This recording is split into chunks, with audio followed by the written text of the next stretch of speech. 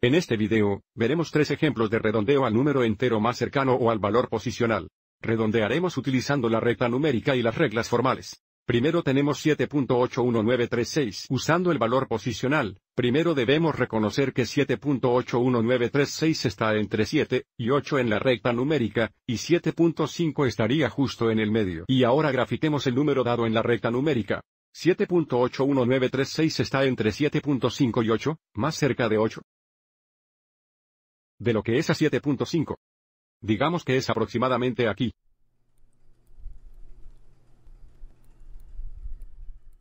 Al redondear al número entero más cercano o al valor posicional, necesitamos determinar si el número dado está más cerca de 7 o más cerca de 8. Usando la recta numérica, podemos ver 7.81936 está más cerca de 8 que de 7, razón por la cual 7.81936 se redondea a 8 cuando se redondea al número entero más cercano o unos valor posicional. Y ahora echemos un vistazo a las reglas formales que rodean.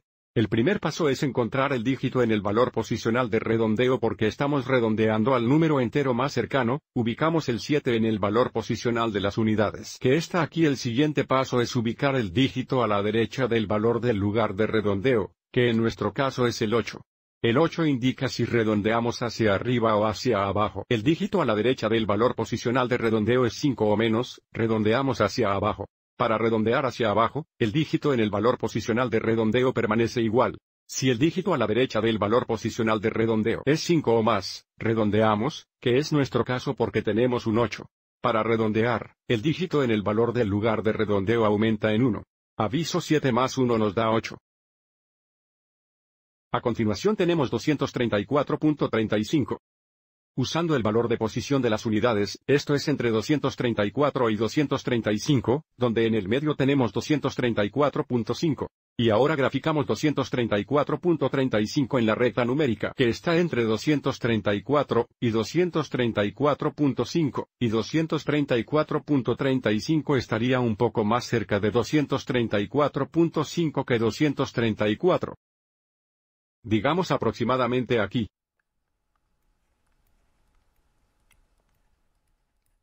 Para redondear al número entero más cercano o al valor posicional, debemos determinar si 234.35 está más cerca de 234 o 235. Usando la recta numérica, podemos ver fácilmente que 234.35 está más cerca de 234 que de 235. Es por eso que 234.35 se redondea a 234.